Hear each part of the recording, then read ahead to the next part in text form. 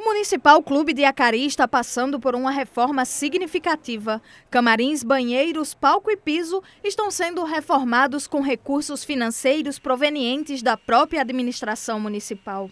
A expectativa é que, com a conclusão da obra, o clube possa oferecer um local de alta qualidade para eventos, tanto públicos quanto privados. A gente espera entregar a obra o mais rápido possível visto que é, a gente sabe que um prédio com muitos anos que não foi feito uma reforma ampla, certo? Sempre vai aparecendo alguma coisa ou outra, um detalhe ou outro, e isso está sendo feito reparos, né?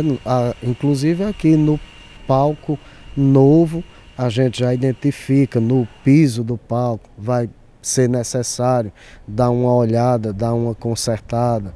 Né? Nas paredes, aqui também estão sendo feitos pequenos reparos. Então, logo logo a gente espera o mais rápido possível poder estar entregando à comunidade esse empreendimento que é um esforço né, da gestão municipal, da direção do Municipal Clube, da Secretaria de Desenvolvimento Econômico e Turismo, é enorme para que esse serviço venha acontecer e agora a gente espera celeridade né, para entregar à comunidade mais rápido possível.